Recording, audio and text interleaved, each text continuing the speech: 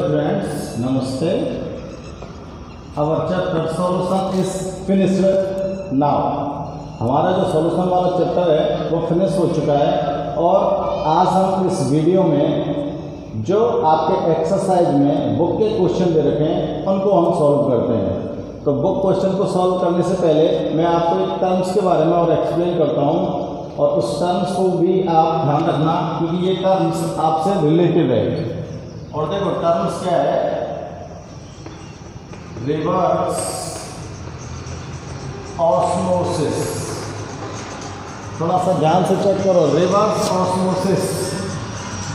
Reverse osmosis क्या होता है देखो ऑस्मोटिक प्रेशर को एक्सप्लेन करने के लिए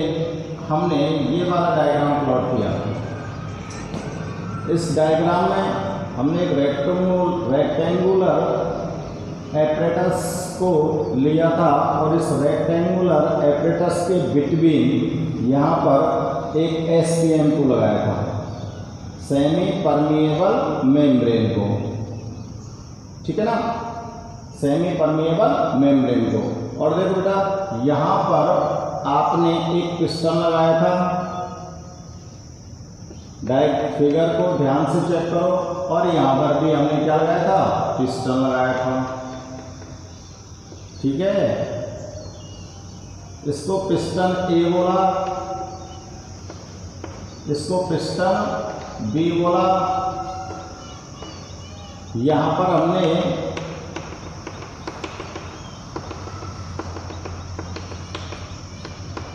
सॉल्वेंट को फिल किया था ऑस्मोटिक प्रेशर का जो डायग्राम था उसकी बात कर रहा हूं मैं यहां पर आपने सॉल्वेंट को फिल किया था और यहां पर आपने फिल किया था सॉल्यूशन को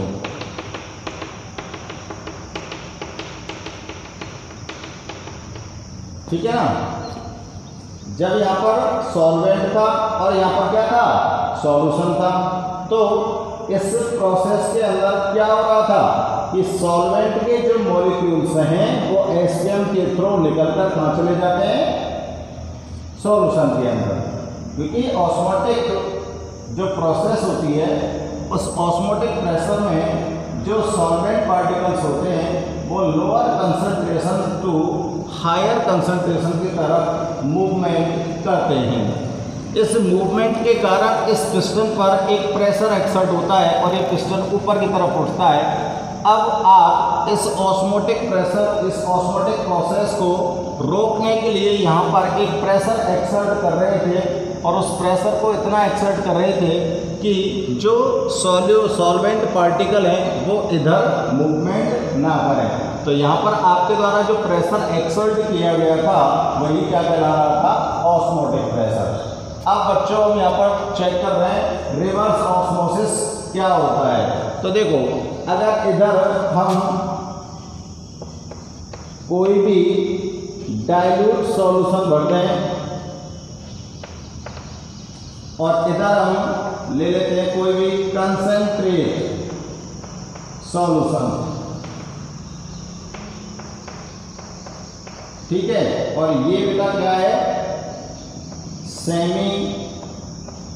परमिएबल मेम्ब्रेन अब सिस्टम से क्या होना चाहिए जो डायल्यूट सॉल्यूशन के सॉल्यूशन में जो सॉल्वेंट पार्टिकल हैं वो मूव करने चाहिए कंसंट्रेट सॉल्यूशन की तरफ यही होना चाहिए ना और इस पर एक प्रेशर एक्सर्ट होना चाहिए और एक पिस्टन ऊपर की तरफ उठना चाहिए बट यहाँ पर ऐसा नहीं हो रहा है यहाँ पर देखो हम कौन सी प्रोसेस करने वाले हैं रिवर्स रिवर्स का मतलब उल्टा ऑस्मोसिस आपको क्या करना है उल्टा करना है तो हायर कंसंट्रेशन से लोअर कंसंट्रेशन की तरफ आपको रिवर्स करना है तो इसके लिए हम क्या करें कि पिस्टन जो भी है जो सॉल्यूशन साइड में है माना इसको मैं सॉल्वेंट मान लो अभी भी और इसको मान लें हम सॉल्यूशन तो सॉल्यूशन कंसंट्रेट सॉल्यूशन साइड में जो पिस्टन है इस पिस्टन पर हम एक प्रेशर एक्सर्ट करें और उस प्रेशर एक्सर्ट इतना करें कि कंसंट्रेट सॉल्यूशन के अंदर से solvent molecules solvent molecules move कर जाएं किस तरफ डायल्यूट सॉल्यूशन की तरफ किस तरफ मूव कर जाए बेटा डायल्यूट सॉल्यूशन की तरफ या ध्यान में आ रही बात डायल्यूट सॉल्यूशन की तरफ मूव कर जाते हैं तो अगर ये पार्टिकल यहाँ से जो प्योर यहाँ से जो कंसनट्रेट सॉल्यूशन आपने लिया है इस कंसनट्रेट सॉल्यूशन के अंदर से जो प्योर सॉल्वेंट पार्टिकल हैं वही तो मूव करेंगे प्योर सॉल्वेंट पार्टिकल यहाँ से मूव करके कहाँ पहुँच जाए डाइल्यूट सॉल्यूशन के अंदर पहुंच जाएं इट मीन्स जो ऑस्मोटिक प्रेशर इधर से इधर होनी चाहिए थी अब वो कहाँ से कहाँ हो रही है कंसनट्रेट से डाइल्यूट की तरफ हो रही है यानी कि जो सॉल्वेंट पार्टिकल हैं कंसनट्रेट सॉल्यूशन के यानी कि सॉल्यूशन के अंदर जो सॉल्वेंट पार्टिकल हैं वो प्योर सॉल्वेंट की तरफ मूव कर रहे हैं कर रहे हैं कि ना कर रहे ठीक है ना मूव कर रहे हैं तो इसलिए इस ऑस्मोटिक्स जो प्रोसेस है इसको हम क्या बोलेंगे रिवर्स ऑस्मोसिस क्या बोलेंगे इसको हम रिवर्स ऑस्मोसिस क्योंकि इसको हम ज़बरदस्ती इधर भेज रहे हैं प्रेशर एक्सर्ट करके उल्टा भेज रहे हैं इसलिए इसको हम रिवर्स ऑस्मोसिस बोलते हैं अब इसको आप कहाँ पर यूज करते हो बताओ इसको हम यूज करते हैं हार्ड वाटर को सॉफ्ट वाटर में कन्वर्ट करने के लिए यानी कि जो खारा पानी होता है उसे मीठे पानी में कन्वर्ट करने के लिए इस प्रोसेस का उपयोग करते हैं और इसको आप जानते हो बेटा किसके नाम से आर ओ आपके घरों में लगा हुआ है ना R O R O water R O का पानी पीते हो कि नहीं पीते हो इसको शॉर्ट फॉर्म में बोलते हैं आर ओ और आर ओ की फुल फॉर्म क्या होती है रिवर्स ऑस्मोसिस और इसी प्रोसेस के थ्रू जो आपका आर लगा हुआ है वो पानी को शुद्ध करता है अब देखो इस जो कंसनट्रेट सॉल्यूशन है इस पानी के अंदर पूरे के पूरे जो अननेसेसरी सब्सटेंस हैं यहाँ पर मिक्सड होते हैं ठीक है ना जैसे फ्लोराइड वगैरह आपको वो पीना नहीं है तो फिर क्या करेंगे इसके ऊपर ये प्रेशर एक्सर्ट करेगा और इसमें तो ओनली सॉल्वेंट कौन है इसमें सॉल्वेंट वाटर वाटर मॉलिक्यूल्स ही तो हैं तो इसमें से ओनली सॉल्वेंट पार्टिकल्स को ओनली सॉल्वेंट पार्टिकल्स को ये इसमें से बाहर निकाल देता है अब सॉल्वेंट पार्टिकल बाहर आ गए तो इसमें इट मीन्स वाटर मॉलिक्यूल्स बाहर आ गए और वो water molecules pure water molecules आपको ऑप्टेन हो जाता है और उसे आप यूज़ करते हो पीने की फॉर्म में ठीक है ना तो ये होता है बेटा रिवर्स ऑस्मोसिस तो इसको कैसे डिफाइन करें इसको डिफाइन करें if we apply excess pressure देखो लिखें हम if we apply excess pressure, if we apply excess pressure from osmotic pressure on a solution, from osmotic pressure, from osmotic pressure on a solution on a solution then pure solvent then pure solvent come out from solution come out from solution through S P M S P M को तो समझ ही जाओगे semi permeable membrane अगर आप excess pressure को osmotic pressure से अधिक प्रेशर को सॉल्यूशन के ऊपर लगाते हो तो सॉल्यूशन के अंदर से जो प्योर सॉल्वेंट पार्टिकल्स होते हैं वो बाहर निकल जाएंगे किसके द्वारा पी एम से बाहर आ जाएंगे समझ में आ रही बात ठीक है ना hence flow of solvent, hence flow of solvent particle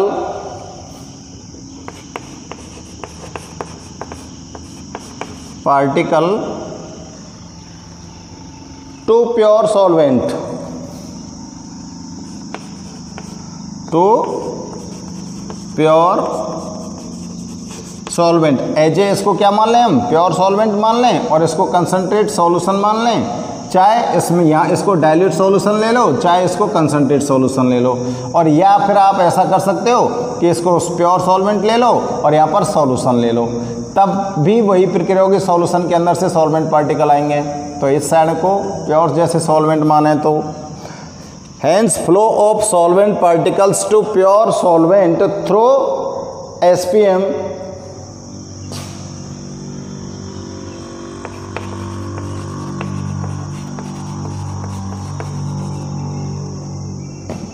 is called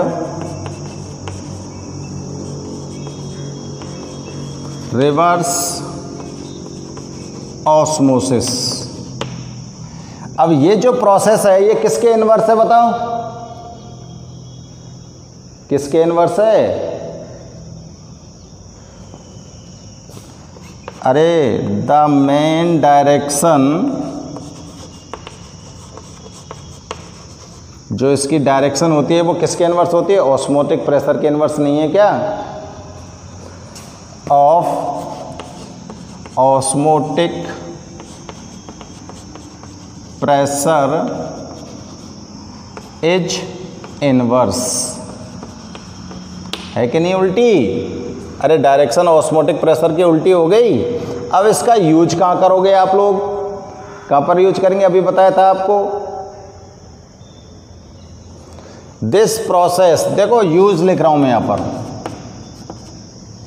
क्या लिख देते हैं use this process use for purification of sea water and hard and hard water समुद्र के पानी को और हार्ड वाटर को प्योर करने में इसका उपयोग किया जाता है ये प्रोसेस कहलाती है बेटा रिवर्स ऑस्मोसिस प्रोसेस ठीक है ना तो आप इसके फिगर को ध्यान से देखेंगे तो आपको इजी वे में समझ में आ जाएगा ठीक है ना यहाँ पर आप ध्यान क्या रखेंगे एक्सेस ऑस्मोटिक प्रेशर अप्लाई कर रहे हैं हम यहाँ पर तो ये जो सॉल्वेंट पार्टिकल हैं किस तरफ मूव कर रहे हैं सॉल्यूशन के सॉल्वेंट पार्टिकल किस तरफ मूव कर रहे हैं प्योर सॉल्वेंट की तरफ ठीक है ना किस तरफ मूव कर जाते हैं ये प्योर सॉल्वेंट की तरफ या डाइल्यूट सॉल्यूशन की तरफ ठीक है तो ये रिवर्स ऑस्मोसिस की प्रोसेस है इसको आप फिगर को भी बनाना चाहिए हमें फिगर क्योंकि फिगर से हमको याद रहता है पूरा और डेफिनेशन भी आप यहाँ पर आराम से नोट कर सकते हैं ठीक है ना अब देखो हम बुक क्वेश्चन चेक कर रहे हैं बेटा यहाँ पर ठीक है ना तो देखो क्वेश्चन नोट कर रहा हूँ मैं क्वेश्चन को लिख रहा हूँ अपना क्वेश्चन है ये one zero point one M solution of zero point one M solution of K four F E C N six क्या बोलेंगे इसको potassium ferrocyanide was 45 ionised was 46 percent ionised ठीक है ना at 27 degree centigrade temperature at 27 degree temperature.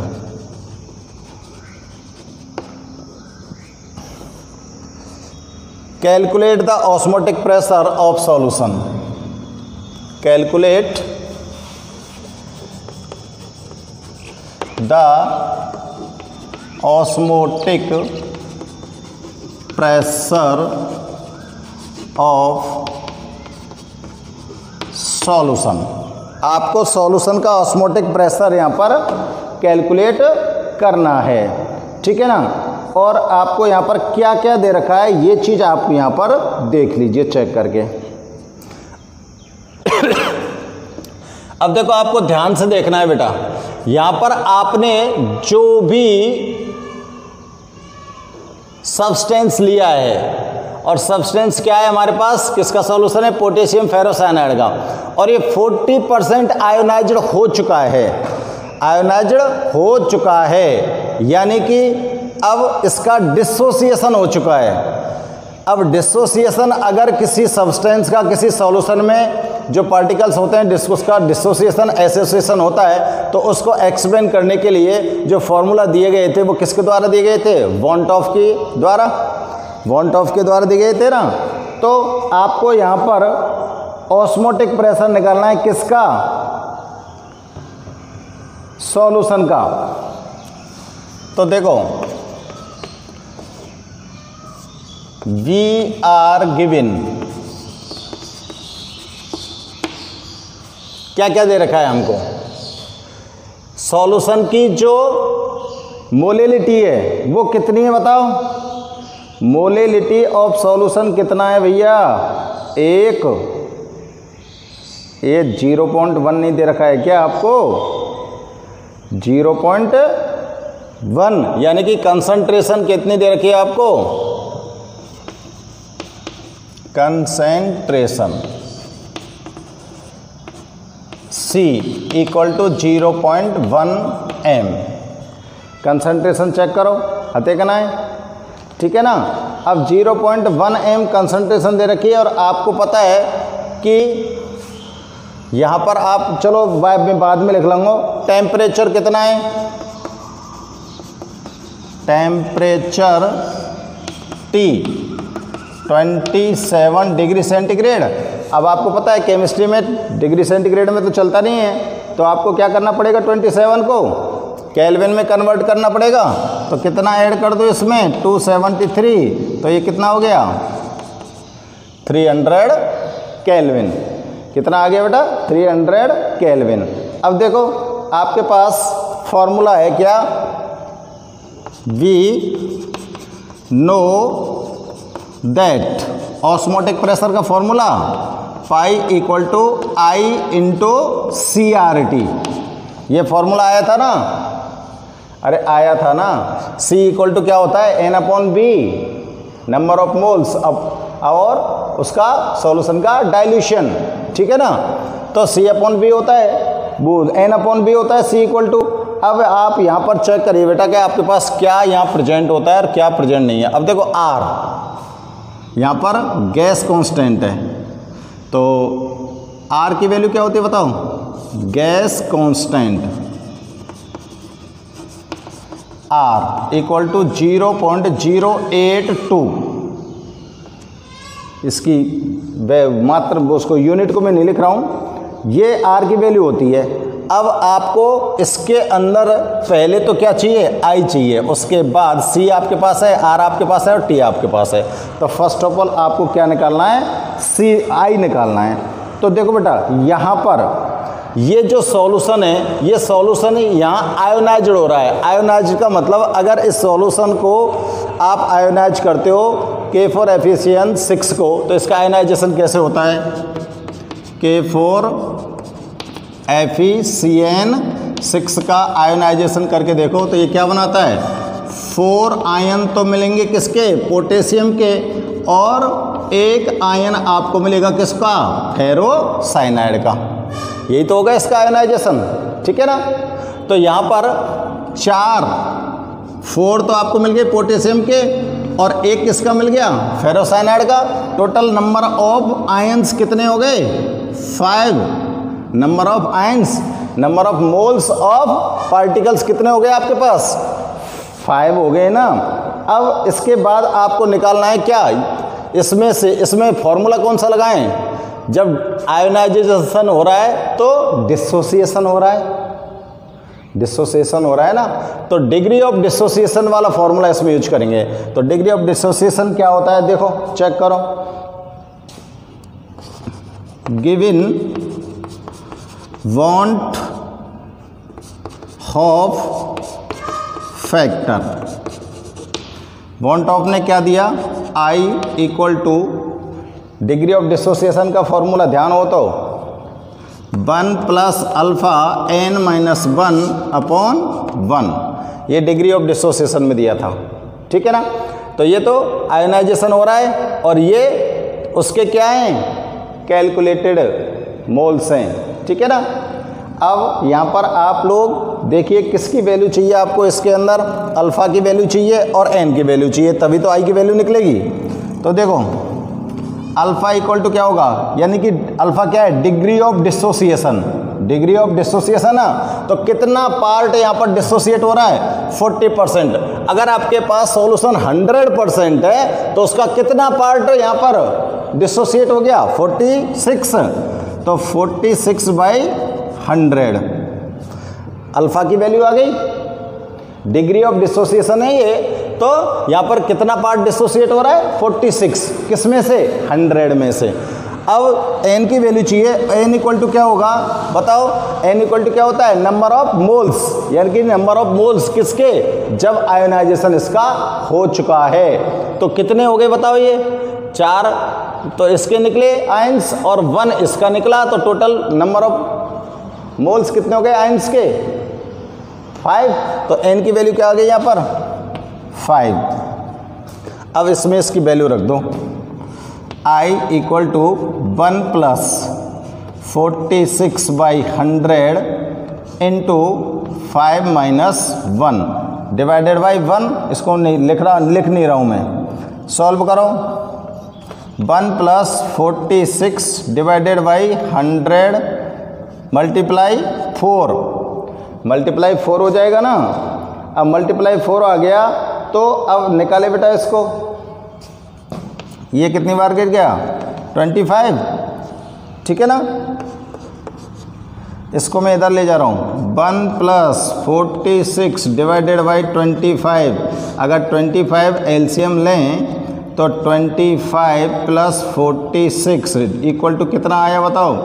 Eleven seven twenty five और इसकी value कितनी आ गई थी कितनी आएगी बताओ निकालो फटाफट से 2.84 के लगभग आएगी तो आपको आई की values hence I equal to 2.84 ये वैल्यू आ गई देख रही है ना नीचे चेक कर लो आई की वैल्यू कितनी आ गई 2.84 अब आपको क्या निकालना है अब हमको निकालना है क्या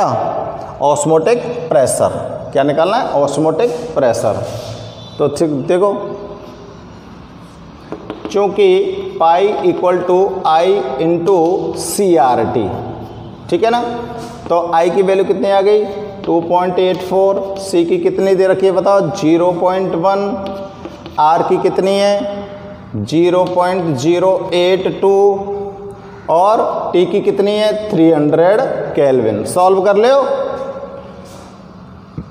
भाई इसकी दो जीरो आ जाएंगे नीचे इसकी एक जीरो इसकी थ्री तो देखो दो से तो दो गई ठीक है ना अब आपके पास वैल्यूज़ क्या बची two eighty four into three का इसमें मल्टीप्लाई कर रहा हूँ मैं direct six two four divided by कितनी जीरो बची हैं two three four ten power four बचा है ना इनका मल्टीप्लाई कर लो दोनों का मल्टीप्लाई कर लो और टेन पावर फोर का इसमें क्या कर दें डिवाइड कर दें और डिवाइड जब कर देंगे तो हमारे पास यहाँ पर जो आएगा आंसर आएगा वो आप निकाल के देखेंगे चेक करेंगे और आंसर जो आएगा यहाँ पर मैं लिख रहा हूँ भाई साहब 6.9 पॉइंट तो ऑस्मोटिक प्रेशर कितना आ गया 6.9 पॉइंट ये आपका आंसर हो गया आप इसको मल्टीप्लाई करके निकाल लेना ठीक है ना तो ये चेक कर लो बेटा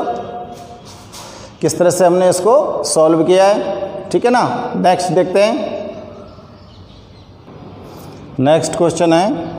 0.3 gram 0.3 gram benzoic acid benzoic acid is dissolve is is dissolve in 20 gram benzene 0.3 gram benzoic acid को डिजोल्व किया है 20 ग्राम बेंजीन के अंदर the depression in freezing point of this solution the depression of freezing point of freezing point of this solution is 0.317 Kelvin. Calculate the degree of association of benzoic acid. Calculate the degree of association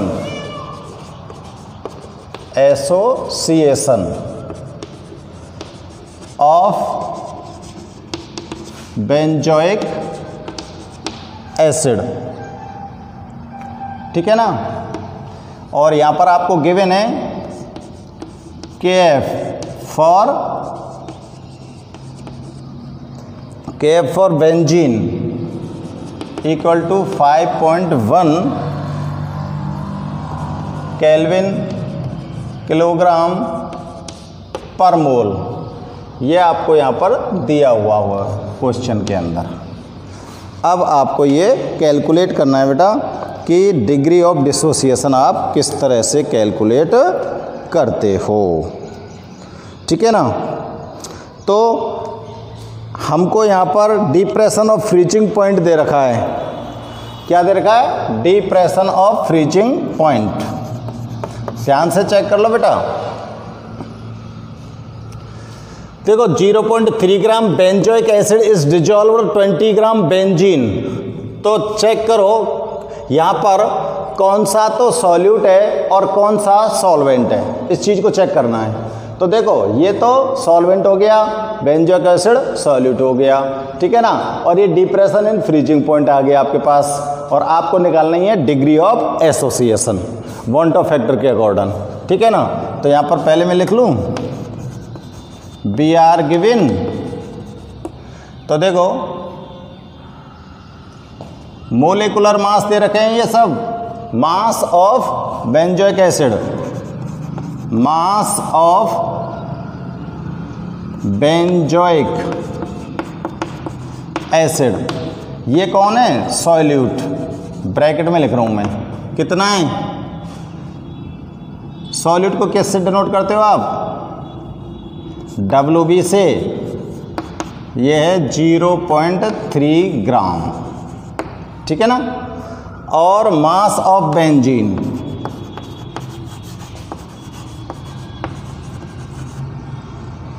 ठीक है ना mass of benzene ये क्या है benzene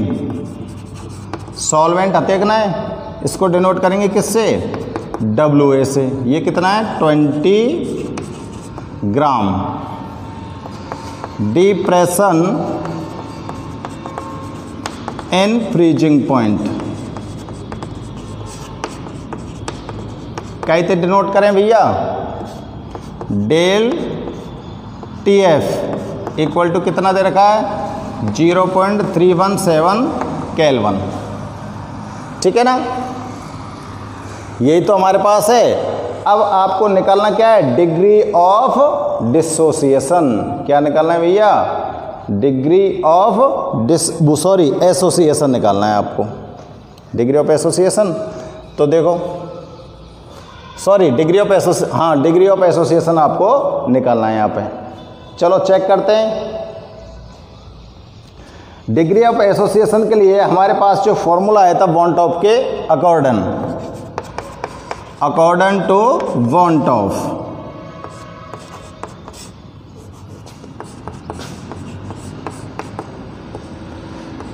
degree of association बताओ formula alpha equal to क्या आया था alpha equal to n into n into I minus one divided by one minus n तो आपको डिग्री ऑफ एसोसिएशन अगर यहाँ पर कैलकुलेट करना है तो हमको क्या चाहिए आई चाहिए और एन चाहिए पहले हमको वंट ऑफ फैक्टर निकालना होगा और फिर उसके बाद क्या निकालना होगा number of moles of solute molecular mass निकालना पड़ेगा कितने मोल सॉल्यूट के क्या हुए हैं इसके अंदर एसोसिएट हुए हैं ठीक है ना तो पहले हम चेक करें बेटा हम बॉन्ट ऑफ फैक्टर को निकालते हैं ठीक है ना आई की वैल्यू को कैलकुलेट करते हैं सबसे पहले आई की वैल्यू को कैलकुलेट करने के लिए आप लोग क्या करोगे आई की वैल्यू को कैलकुलेट करने के लिए क्या करोगे आई को कैलकुलेट करते हैं देखो van't Hoff factor I equal to theoretical molecular mass solid के लिए कर रहे हैं ये अपॉन ऑब्जर्व्ड मोलेकुलर मास ठीक है ना तो सॉलिड कौन है बेंजोइक एसिड है बेंजोइक एसिड के लिए थ्योरेटिकल मोलिकुलर मास तो फिक्स है लेकिन उसका ऑब्जर्व मोलिकुलर मास निकालना है तो ऑब्जर्व मोलिकुलर मास के लिए हमारे पास क्या फॉर्मूला है ऑब्जर्व मोलिकुलर मास के लिए फॉर्मूला कहाँ से लाएंगे हम हम लाएंगे बेटा डिप्रेशन इन फ्रीजिंग पॉइंट में थे कहाँ से लाएंगे डिप्रेशन इन फ्रीजिंग पॉइंट ठीक है ना we know that depression of freezing point का फॉर्मूला क्या था del T F equal to K F into M यही तो था अब एम क्या था मोलिलिटी ऑफ सॉल्यूशन और एम की जगह पर क्या लिख सकते थे हम K F into M B upon W A into W B sorry यहाँ डब्लू बी आएगा और यहाँ पर M B M B into अगर ग्राम में दे रखा है तो वन थाउजेंड का मल्टीप्लाई करते थे यही तो आया था अब इसमें से आपको ऑब्जर्व मोलिकुलर मास यहाँ पर कैलकुलेट करना है क्या करना है ऑब्जर्व मोलिकुलर मास कैलकुलेट करना है किसका केवल किसका एम का सॉरी केवल उसका निकालना है हमको सॉल्यूट का तो यहाँ पर इसको हम कैलकुलेट करते हैं हमको कैलकुलेट करना है जो मोलिकुलर मास सॉल्यूट का सॉल्यूशन के अंदर आ आएगा वो ऑब्जर्व ही होगा तो इसमें से एम बी की वैल्यू निकालो एम बी इक्वल टू क्या निकाला था आपने देखो K F upon del T F into W B upon W A into one thousand ये फार्मूला हम कैलकुल पहले प्रूव कर चुके हैं अब वैल्यूज़ का रखिए के एफ की वैल्यू कितने का है पाँच पॉइंट एक five point one into W B की कितनी है जीरो पॉइंट तीन gram into one thousand divided by del T F कितना दे रखा है depression and freezing point zero point three one seven और डब्ल्यू ए यानी कि मास ऑफ सॉल्वेंट कितना है 20 ग्राम तो यहाँ से आप एम बी की वैल्यू कैलकुलेट करिए इसको इसको सॉल्व करिए और यहाँ पर एम बी की वैल्यू कैलकुलेट करके लाइए और यहाँ पर एम बी की वैल्यू कैलकुलेट करके जब लाते हैं हम तो हमारे पास आती है 241 एम बी की वैल्यू क्या आती है 241 अब इसके बाद अब हमारे पास क्या आ गया ऑब्जर्व मोल्स आ गए एम बी ऑब्जर्व यहाँ पे आपको ध्यान रहेगा मैं लिख दूँ एम बी ऑब्जर्व ठीक है ना M B observe equal to two forty one अब M B observe two forty one आ गया तो एम बी इसका सॉल्यूट का जो थ्योरेटिकल मास मोलिकुलर मास होता है यानी कि बेंजोइक एसिड का मोलिकुलर मास कितना होता है 122 होता है तो आई इक्वल टू क्या हो गया theoretical molecular mass of benzoic acid twenty two upon two forty one ये आई की वैल्यू आ गई अब यहाँ मत आई की वैल्यू निकाल लो आप और आई की वैल्यू को निकाल कर लाइए और उस आई की वैल्यू को हमको यहाँ पर नोट करना है इस फॉर्मूले में कितना आया बताओ उसका उसकी वैल्यू निकालो उसकी वैल्यू आती है आई की zero point five zero six ठीक है ना अब हमको क्या चाहिए एन चाहिए अब यहाँ पर जो बेंजीन के अंदर बेंजोइक एसिड आपने क्या किया है सॉल सॉल्यूबल किया है ना अब बताइए बेंजीन के अंदर जब बेंजोइक एसिड को सॉल्यूबल करते करते हैं तो क्या होता है तो देखो ध्यान से चेक करना when benzoic acid dissolved in benzene then it then it form dimer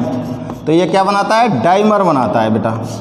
dimer अगर बनाता है तो बेंजोइक एसिड का डाइमर बन गया तो यहाँ पर बेंजोइक एसिड के कितने नंबर ऑफ मोल्स हो गए दो हैगे ना हैगे बेंजोइक एसिड के नंबर ऑफ मोल्स कितने हुए दो हुए ना दो एक ना हो अब आप अपने फॉर्मूले में लाइए इसको इस फॉर्मूले में यूज़ करना है सारी चीज़ें आ गई आपके पास आई आ चुका है आपके पास एन आ चुका है अब ये वाला फॉर्मूला यहाँ पर इसमें ऐड कर दो हैंड्स देखो इस वाले फॉर्मूले को नोट कर रहे हैं हम I alpha equal to alpha equal to n into I minus one और वन माइनस एन अब इसमें वैल्यूज़ को पुट करिए आप एन कितना है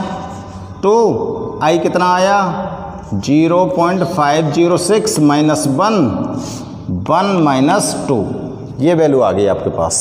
ठीक है ना अब ये वैल्यू अगर आपके पास आ गई तो इसको आप सॉल्व कीजिए और इसको जब हम सॉल्व करते हैं तो आपके पास डिग्री और डिसोसिएशन कितनी आती है डिग्री ऑफ डिसोसिएशन आता है हमारे पास 0.988 ठीक है ना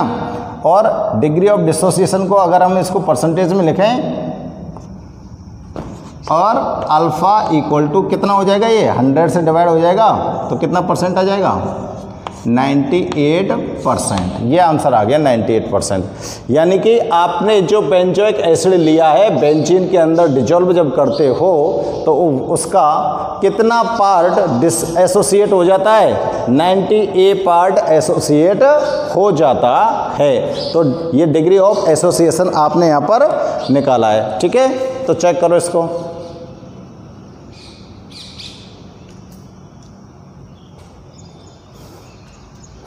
ये जो अल्फ़ा की वैल्यू है इस अल्फ़ा की वैल्यू को मैं यहाँ लिख दूँ alpha equal to ninety eight percent ठीक है ना 98 परसेंट आपको ये आंसर आ जाएगा ये आपका आंसर है 98 परसेंट अल्फ़ा की वैल्यू अगला क्वेश्चन है देखो calculate molality of 10 percent W by W aqueous S two S O four इस क्वेश्चन को हम कर चुके हैं बेटा शायद आपके चैप्टर में पहले हम इस क्वेश्चन को कर चुके हैं तो इससे अगला नेक्स्ट क्वेश्चन देखते हैं और हमारे पास नेक्स्ट क्वेश्चन है the theoretical molecular mass and observe molecular mass of an ionic compound A B ये आपकी एक्सरसाइज का सेकंड क्वेश्चन है the theoretical molecular mass theoretical molecular mass अच्छा मैं क्वेश्चन को नहीं लिखता हूँ मैं सीधे सीधे इसको सॉल्व कर दूँ तो क्या दिक्कत है क्योंकि इसको लिखने में काफ़ी टाइम लगता है बेटा ठीक है ना मैं सीधे सीधे इसको सॉल्व कर रहा हूँ और आप लोग अपनी बुक से चेक कर लेना आप लोग अपनी बुक से चेक कर लेना क्वेश्चन नंबर टू है किसका आपकी एक्सरसाइज का देखो यहाँ पर एक आयनिक कंपाउंड है और आयनिक कंपाउंड क्या है आयनिक कंपाउंड है और आयनिक कंपाउंड को यहाँ माना है ए ठीक है ना और इसका थ्योरिटिकल और ऑब्जर्व मोलिकुलर मास दे रखे हैं तो थ्योरिटिकल मोलिकुलर मास कितना दे रखा है ये दे रखा है भाई साहब 58.2 और ऑब्जर्व मोलिकुलर मास दे रखा है यहाँ पर ऑब्जर्व मोलिकुलर मास दे रखा है यहाँ पर थर्टी ठीक है ना calculate the van't Hoff factor and degree of dissociation आपको बॉन्ट ऑफ फैक्टर और डिग्री ऑफ डिसोसिएशन निकालना है ठीक है ना तो देखो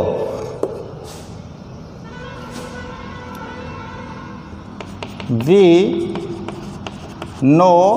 that van't Hoff factor I equal to क्या होता है theoretical molecular mass divided by observed molecular mass ये अभी लिखा था ना हमने तो बस सीधे सीधे वैल्यू रख दो fifty fifty eight point two divided by thirty निकाल दो कितना आया बताओ 1.94 तो आई की वैल्यू क्या आ गई आपके पास 1.94 एक आंसर तो ये आ गया वन टॉप फैक्टर तो ये निकाल दिया इसका ठीक है ना अब निकालना है आपको डिग्री ऑफ डिसोसिएशन दूसरा इसमें क्या निकालना है डिग्री ऑफ डिसोसिएशन या आयोनाइजेशन लिख सकते हैं डिग्री ऑफ आयोनाइजेशन क्योंकि ये आयोन आयोनिक कंपाउंड है तो आयोनाइजेशन ही होगा degree of ionization degree of ionization alpha equal to ionization में क्या लगाएंगे अल्फ़ा इक्वल टू आपको क्या लगाना है बताओ फॉर्मूला अरे डिसोसिएशन हो रहा है ना तो डिसोसिएशन हो रहा है तो क्या लगाते हैं I minus one divided by n minus one यही तो लगाएंगे क्या लगाएंगे I minus one divided n minus one तो लगाओ फॉर्मूला है i minus one n minus one I की वैल्यू आपके पास सही है और एन की वैल्यू और निकालनी है हमने तो एन की वैल्यू क्या है नंबर ऑफ मोल्स हो जाएंगे तो देखो आपके पास कंपाउंड क्या है ए बी अब इस ए बी कंपाउंड का अगर आयनाइजेशन होता है तो आपको यहाँ पर कितने नंबर ऑफ आइंस ऑप्टेन होने चाहिए कितने बताओ दो ही ऑफ आयन तो ऑप्टेन होंगे आपको कितने आयन ऑप्टेन होंगे ट्यू नंबर ऑफ आइंस कितने अगर या जगह पे ही ए बी की जगह अगर ए बी टू हूँ तो तो नंबर ऑफ मोल्स कितने हो जाते थ्री अगर ए बी थ्री होता तो फोर समझ में आ गई और अगर ये ए टू बी थ्री होता तो कितने हो जाते फाइव आगे बात समझ में तो एन की वैल्यू कितनी आ गई टू तो आई अल्फ़ा इक्वल टू अल आई की वैल्यू इधर से ले लो 1.94 point nine four minus one upon two minus one तो कितना आया zero point nine one upon one तो डिग्री ऑफ आयनाइजेशन कितनी आ गई जीरो पॉइंट नाइन वन कितने परसेंट होनी चाहिए बताओ ये ये नाइन फोर है सॉरी नाइन फोर कितने परसेंट होना चाहिए बताओ ये होगा ninety four percent degree of ionization कितना है 94 परसेंट ठीक है ना करो नोट फटाफट से अब देखो नेक्स्ट क्वेश्चन है तुम्हारे इसमें एक्सरसाइज में क्वेश्चन नंबर फोर है क्वेश्चन को नहीं लिख रहा हूँ मैं और देखो 0.21 point two one aqua solution of protein protein का सोल्यूशन है 0.21 कंटेन 1.26 ग्राम प्रोटीन सॉल्यूशन के अंदर 1.26 ग्राम प्रोटीन प्रेजेंट है ऑस्मोटिक प्रेशर सॉल्यूशन का दे रखा है और यहाँ पर आपको मोलिकुलर मास ऑफ प्रोटीन को कैलकुलेट करना है तो यहाँ पर मैं वैल्यूज़ लिख लेता हूँ जो यहाँ पर दी चुकी दी जा दी गई हैं तो देखो वी आर गिविन सीधे डायरेक्ट मैं वैल्यू लिख रहा हूँ क्वेश्चन नहीं लिख रहा हूँ आप लोग अपनी बुक के अंदर चेक कर लेना ठीक है ना तो यहाँ पर हमको क्या क्या दे रखा है देखो एटमोस्फेरिक प्रेशर दे रखा है पाई की वैल्यू एटमोसफिक प्रेशर को किससे डिनोट करते हैं पाई से ये दे रखा है 2.57 point five seven into ten power minus three two point five seven into ten minus three bar ये बार भी इसका यूनिट होता है एटमोसफिक प्रेशर का और पास वो सॉरी ये एटमोसफेयर भी होता है ठीक है ना तो ये दोनों लगभग इक्वल होते हैं और सेकंड वैल्यू दे रखी है हमको यहाँ पर सेकंड वैल्यू है मास ऑफ सॉल्यूट कितना है मास ऑफ सॉल्यूट है 120 ग्राम यानी कि प्रोटीन प्रोटीन जो है वो सॉल्यूशन के अंदर प्रजेंट थी 1.26 ग्राम तो इसको बोलेंगे mass of solute mass of solute या डिनोट करें कहते डब्ल्यू बी थे सिक्स ग्राम और यहाँ पर दूसरी चीज़ दे रखी है बेटा यहाँ पर जो सॉल्यूशन है उसका डाइल्यूशन भी दे रखा है आपको और जो सॉल्यूशन उसका एक्वा सॉल्यूशन है ना इसलिए उसका डाइल्यूशन है ये और डाइल्यूशन को डिनोट करते हो आप वी से लिख दूँ चलो मैं यहाँ डाइल्यूशन ठीक है ना तो ध्यान रखिए हूँ और ये डाइल्यूशन दे रखा है एक्वा सॉल्यूशन है ना तो डाइल्यूशन कितना है जीरो पॉइंट टू वन और क्या दे रखा है यहाँ पर टेम्परेचर दे रखा है 300 सौ कैलविन टेम्परेचर कितना दे रखा है 300 सौ कैलविन 300 सौ कैलविन टेम्परेचर है और आपको यहाँ पर क्या निकालना है हमको कैलकुलेट करना है molecular mass of protein molecular mass of protein molecular mass of protein देखो तो प्रोटीन क्या है सॉल्यूट ही तो है तो सॉल्यूट का मोलिकुलर मास आपको ऑब्जर्व करना है ठीक है ना तो आपके पास फॉर्मूला क्या है we know that pi equal to क्या है सी आर टी अरे फॉर्मूला देखना है सी आर टी ठीक है ना अब देखो आपको यहाँ पर कंसंट्रेशन नहीं दी हुई है क्या दिया हुआ है डायलेशन दिया हुआ है तो चूंकि सी इक्वल टू क्या होता है एन बाई बी तो आप क्या लिखोगे pi equal to n by V into R T R की वैल्यू और लिख दूंगा यहाँ पर मैं R equal to zero point zero eight two ठीक है ना ये गैस कांस्टेंट है ये तो रट लो इसकी वैल्यूज़ को अब देखो ये क्या है n number of moles of solute अब सॉल्यूट के अगर आपको नंबर ऑफ मोल्स निकालने हैं तो आपको क्या करना पड़ेगा सॉल्यूट का जो मास है उसमें उसके मोलिकुलर मास का क्या करना पड़ेगा डिवाइड करना पड़ेगा तब आपको नंबर ऑफ मोल्स निकलेंगे नंबर ऑफ मोल्स निकालने के लिए mass of given substance divided by molecular mass of given substance तो गिवन सब्सटेंस आपके पास कौन है यहाँ पर प्रोटीन ठीक है ना तो देखो बेटा क्या लिखेंगे अब इसको हम एन की जगह पर तो एन ले आओ सी की जगह पे यह तो ले आओ सी की जगह पर तो यह गो अब क्या फॉर्मूला बन जाएगा एन की जगह पे लाओ W B upon M B into V into R T ये फॉर्मूला आगो अब या तो तुम्हारा ये न्यूमेरिकल सॉल्व होगो तो pi equal to W B कहाँ है डब्लू बी देखो ये रहा सॉरी आपको इसमें से निकालना निकालना क्या है या है और निकाल दो मैं चलो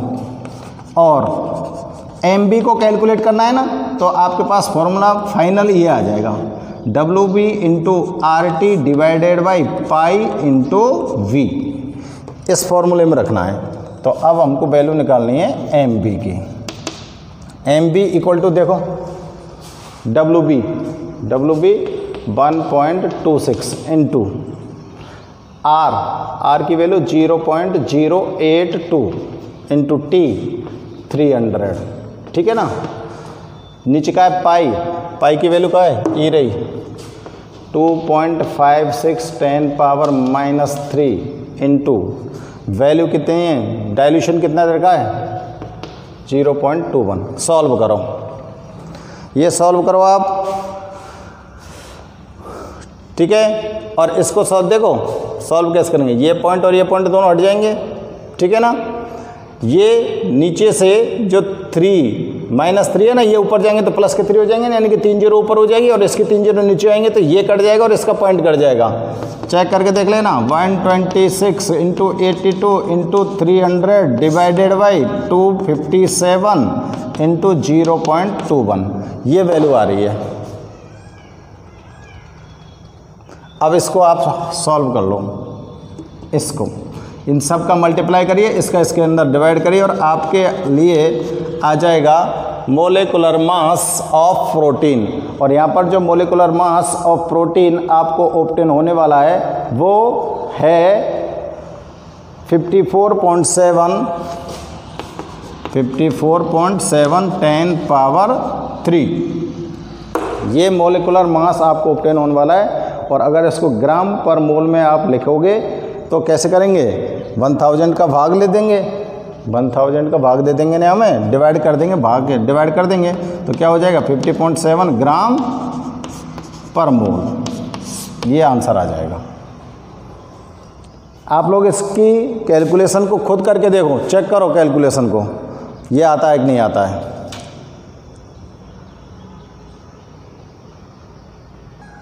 देखो एक क्वेश्चन और है इसका क्वेश्चन है calculate the temperature question number eight है आपके एक्सरसाइज का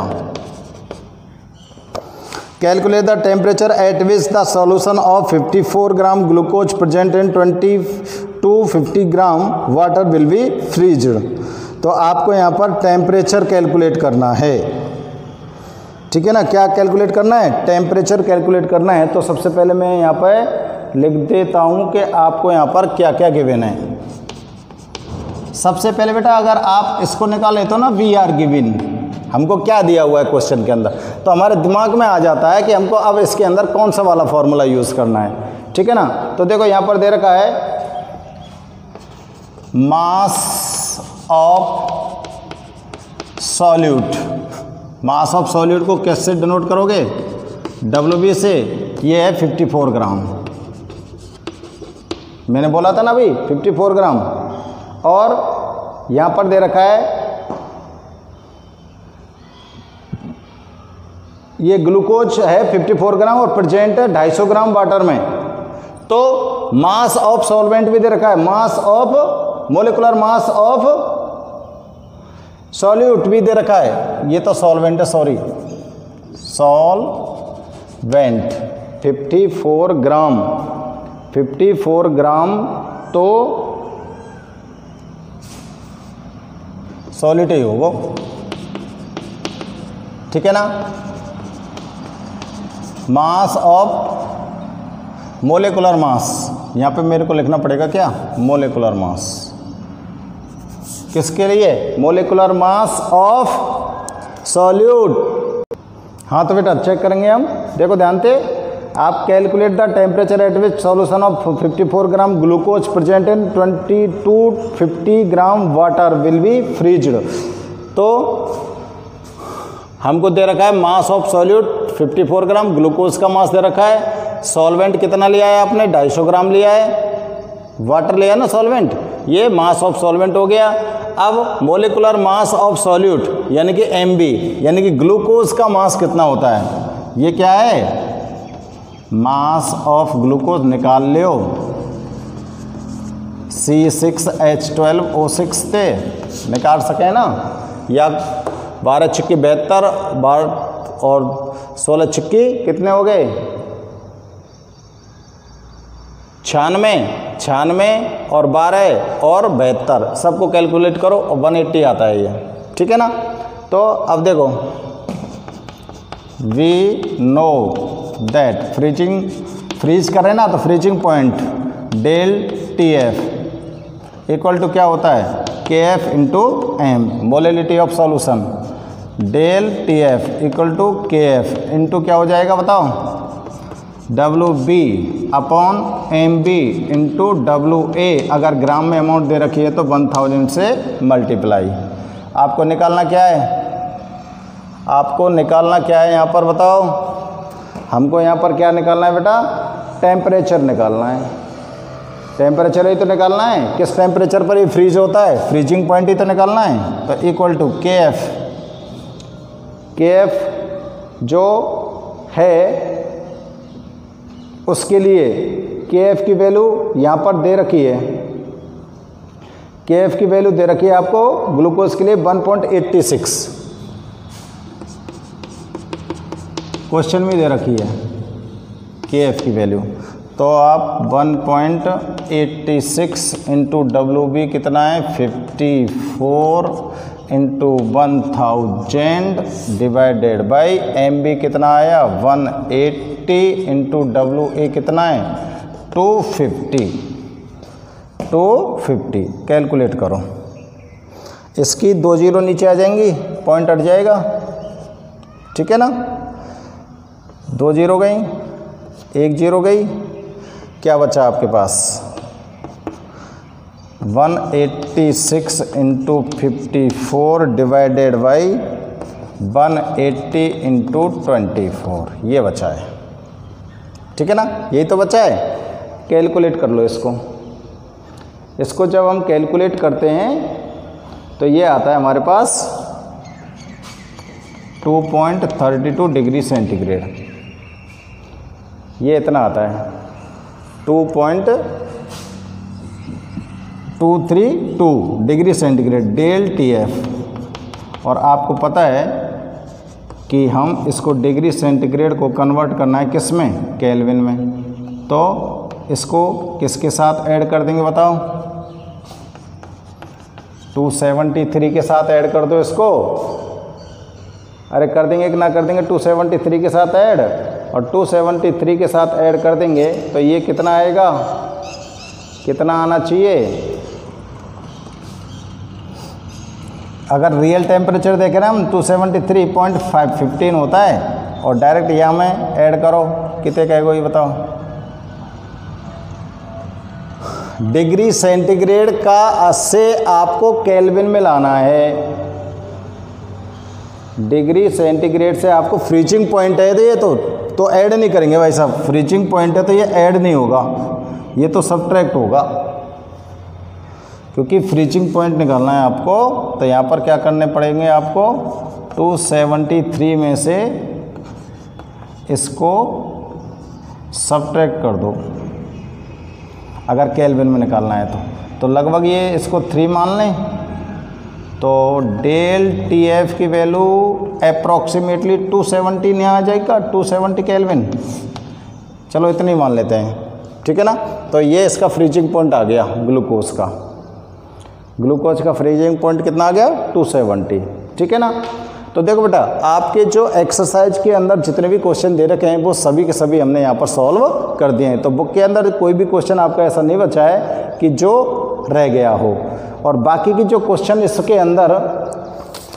न्यूमेरिकल्स के अलावा मैंने आपको जो नहीं बोले हैं वो सब के सब क्वेश्चन आपके लिए मैं पहले सॉल्व करा चुका हूँ ठीक है ना देखो डिफाइन रिवर्स ऑस्मोसिस ये अभी मैंने इसी में सॉल्व करा दिया था यहाँ पर एक क्वेश्चन और है इसको हम चेक करते हैं does it advise to use ethyl alcohol ethyl glycol in radiators of cars in summer क्या गर्मी के मौसम में कारों का जो रेडिएटर होता है उसके अंदर एथिल ग्लाइकोल को एथिलीन जो ग्लाइकोल होती है उसको मिलाने की सलाह दे दी जाएगी देखो यार थोड़ा सा समझो आप इथाइलिन ग्लाइकोल इसको डालते हैं कार के रेडिएटर में ठीक है ना कार के रेडिएटर में क्या होगा पहले ऑलरेडी पानी होगा पानी होगा कि नहीं होगा अब पानी के साथ आप प्लस किसको मिक्स कर रहे हो एथिलीन ग्लाइकोल को तो ये क्या बन गया बेटा सॉल्यूशन सॉल्यूशन बन गो ना और देखो सॉल्यूशन का जो फ्रीजिंग पॉइंट होता है वो प्योर सोलवेंट से कम होता है freezing point of solution is less than solvent वो सॉल्वेंट नहीं सॉल्यूट क्योंकि इथाइलिन ग्लाइकोल सॉल्यूट है और वाटर क्या है सॉल्वेंट है तो सॉल्यूट से क्या होता है ये इसका सॉल्यूशन का फ्रीजिंग पॉइंट घट जाता है अब फ्रीजिंग पॉइंट अगर इसका घट जाएगा तो ये तो किसकी बात हो गई फ्रीजिंग पॉइंट अगर घट जाएगा तो ये तो जमेगा नहीं रेडिएटर में जो पानी है वो नहीं जमेगा तो बात किसमें की जा रही है समर के सीजन में तो समर के सीजन में तो ऑलरेडी वैसे ही ना जमे पानी अगर हम ठंडे देशों की बात करें यूरोपियन जो कंट्रीज़ हैं उसमें टेम्परेचर माइनस में चला जाता है तो उस जगह पर प्रॉब्लम आती है कि जो कार के रेडिएटर्स वगैरह हैं उसमें जो वाटर फिल होता है वो आइस में कन्वर्ट हो जाता है अब कार के रेडिएटर का पानी अगर आइस में कन्वर्ट हो गया तो वो कार को नहीं चलने देता इंजन खराब हो सकता है इसलिए वहाँ पर विंटर सीजन में कार के जो रेडिएटर्स हैं उनके अंदर इथाइलिन ग्लाइकोल मिलाने की एडवाइस दी जाती है तो बेटा यहाँ पर समर सीजन की अगर बात करेंगे तो समर सीजन के लिए तो आप नो नहीं मिलाएंगे नहीं एडवाइस देंगे ठीक है ना तो यहाँ पर ये यह बात जो पूछी जाती है ना कि एडवाइस दोगे कि नहीं दोगे नहीं दी जाएगी एडवाइस समर सीजन में तो एथलिन ग्लाइकोल को मिलाने के लिए क्लियर है ना बाकी और कोई क्वेश्चन ऐसा बचा नहीं बेटा तो आपका ये चैप्टर बिल्कुल फिनिश हो चुका है और अब हम नेक्स्ट वीडियो में आपके सामने नए चैप्टर के साथ आएंगे क्लियर है ओके